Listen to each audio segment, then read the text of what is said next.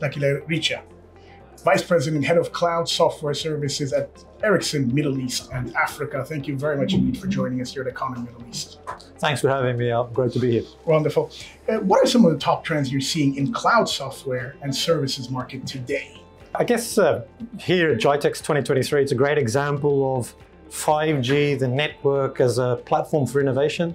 You know, for me, that's um, a great enabler with the amount of throughput, latency, and just sheer workloads that can be managed by 5G is a clear industry trend. And then as we go through the first use cases of either fixed wireless access uh, or enhanced mobile broadband, a big use case coming through is network slicing. Mm -hmm. And how do I differentiate the quality of service for different categories of customer segments? So it, that's a massive thing coming through. Um, and the last piece I think is, is true, at least in GITEX 2023, is artificial intelligence and machine learning at the base of either our operations or the insight that we draw from what happens in the network to make the next best predictive activity. And I think they're the key trends that I see emerging from GITEX 2023. And um, what innovative solutions are you showcasing at GITEX? Yeah, I, I, really want to concentrate on one solution, which I think was amazing. And I got the opportunity to see that earlier and that was using a 5G network slice to be able to create an immersive experience in stadium at a football match.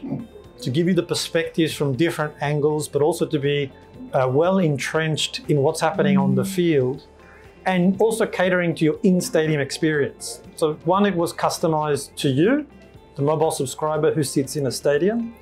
But second, it was also a great business opportunity for either service providers or clubs and facilities to be able to sell their services. Imagine you're in stadium and you're ordering what meal you want, but also the type of quality of service you want on the experience you have in the stadium. It's an amazing use case around the power of 5G and what it actually brings to the table. And you mentioned AI earlier on. What's the role of AI within Ericsson and within your department? AI is a great enabler, you know, artificial intelligence in itself. To be able to you know, start, say, with the operation piece, to be able to understand activities and trends within the network in itself, and to help not only predict, but take action, they call it closing the loop. Taking action on an activity to secure that the network continues to perform at a level that is warranted. Um, and that in itself is doing a few things. One, it's secure because it's within the network in itself. The second piece is it helps to be able to be far more productive in the network, to be able to pick up these trends and take action. The third is it helps you to model what should we do? And if we do something in a particular area of the network, what will be the consequence? And can we make money from it? Or can we save money from it? So there are great aspects that we work with artificial intelligence and machine learning throughout all of our solution suite, especially in the BSS layer, our billing support systems, um, but also in our network design and optimization uh, organization, we use a lot of artificial intelligence to be able to learn, predict, and then take action as well. I see. And digital transformation sits at the top of many companies' list. What's Ericsson doing to help its customers on that front? I think digital transformation is a very broad term. Um, from the perspective of 5G, you create that as a base layer to be able to innovate. There's a few things that are really fundamental when introducing 5G. The one is what are the use cases that we can go to market and make sense for different customer segments.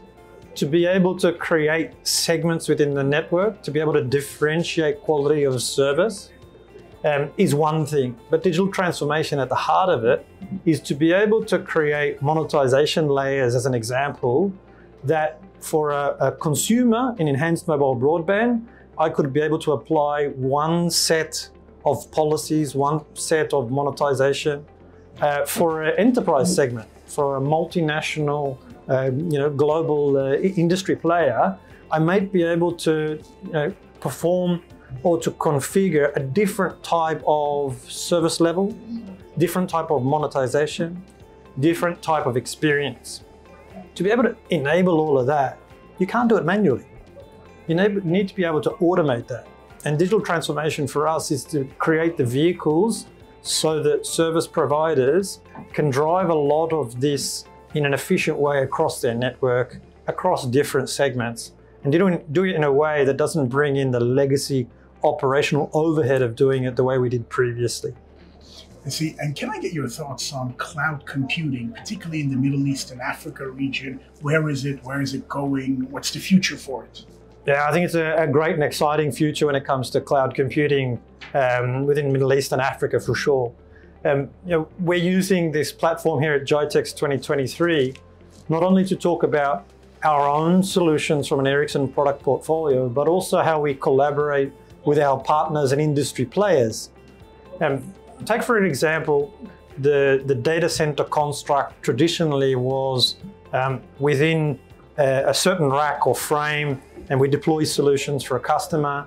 Now you want to be able to provision use cases across a 5G network where potentially you want to take compute and processing far closer to the end user who's sitting out there in the edge 100 kilometers away.